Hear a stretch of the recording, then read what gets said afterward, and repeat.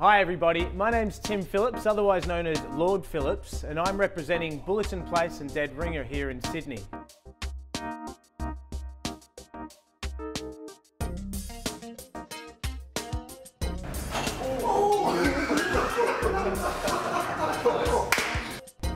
drink we're going to make for you today is a lovely twist on the Singapore Sling, which is of course celebrating its 100th birthday.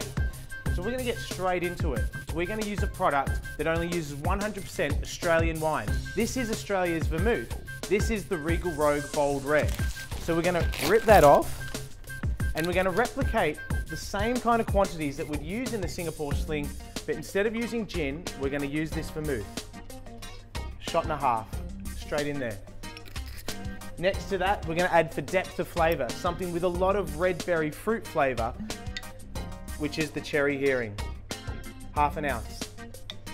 To that, we're going to add our herbal notes and our fruit notes. And these are really the usual suspects when it comes to our Singapore sling. So we're going to add a gesture of triple sec. And then the same again of our Benedictine.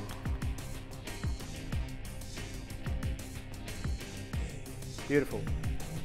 Throw that in there with a good couple of dashes of bitters.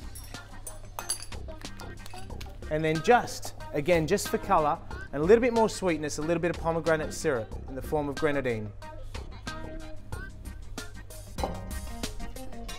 A good slug of pineapple juice. And a little slug of lime juice. And that is our cocktail. We're ready to shake.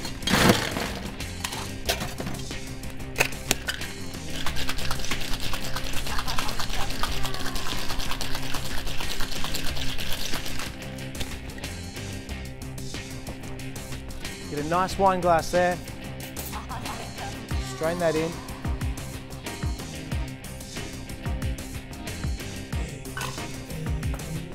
Plenty of ice.